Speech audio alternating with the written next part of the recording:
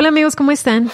Aquí tengo esta nueva correa, se llama Black Unity. En la página de Apple menciona que está inspirada en el afrofuturismo. Rinde homenaje a las generaciones de la comunidad negra para celebrar su historia y cultura.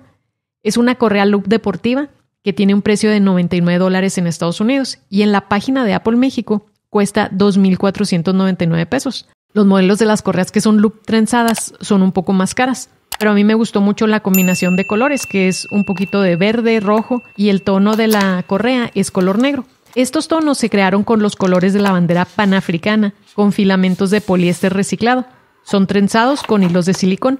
Cuando compras este modelo que es loop, debes elegir la talla tomando en cuenta el tamaño de tu muñeca. En la página viene una tira para imprimirla a escala, ponértela en la muñeca y saber la talla que mejor te ajusta. En este modelo yo elegí la que es talla 2, porque no me gusta que me quede tan ajustada. Que lo único malo de estas correas es que con el tiempo se van haciendo un poquito más aguadas o más amplias de tanto estirarla cuando te la estás quitando. Algo que me gusta de esta correa es que es muy suave al tacto, es resistente al sudor y al agua y yo la uso al entrenar, que es bastante cómoda cuando estás entrenando.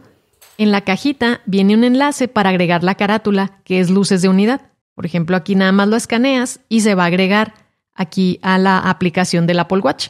En esta carátula las manecillas emiten luz que cambia de forma dinámica a lo largo del día y podemos personalizar el estilo, el dial para poner el reloj en circular o pantalla completa, el color de fondo en unidad o en negro y puedes elegir entre cuatro diferentes complicaciones para agregar a la carátula. Y un detalle extra de esta correa es que si la quitamos de aquí del reloj, tiene un grabado en láser en esta parte que dice Black Unity. Y bueno amigos, pues esto ha sido todo. Espero que les haya gustado este video. Si tienen alguna duda o comentario, déjalo en la cajita para poder ayudarte y nos vemos en la próxima. Hasta luego.